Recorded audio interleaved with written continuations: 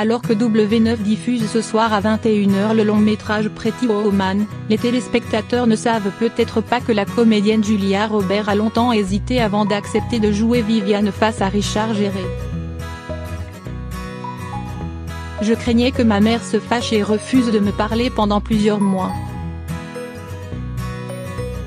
Explique-t-elle en interview. J'ai téléphoné à mes parents pour leur annoncer qu'il s'agissait du nouveau Disney. Ils n'ont pas cherché à en savoir plus. Sans cette idée, elle n'aurait sûrement pas eu la même carrière.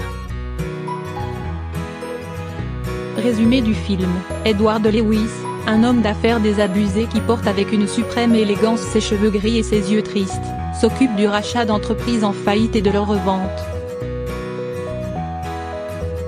De passage à Los Angeles, il quitte une soirée mondaine où il s'ennuie à mourir et se perd dans un quartier chaud en se rendant à son hôtel.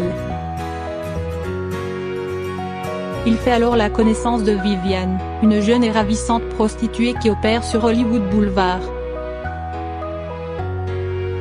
La belle aux sublimes jambes accompagne le milliardaire à son hôtel et passe la nuit avec lui, non sans monnayer ses charmes au prix fort.